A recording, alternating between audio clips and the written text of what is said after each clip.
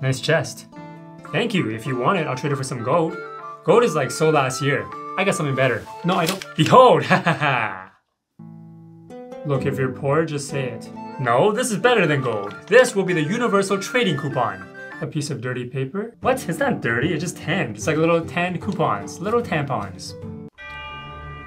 Look, this makes no sense. We already have gold as currency. Yeah, but mine don't jiggle jiggle. It folds. Hmm. Yeah, and we can make thousands of these just from one tree. Interesting. Just watch, all of the gold diggers are gonna hop on the wood instead.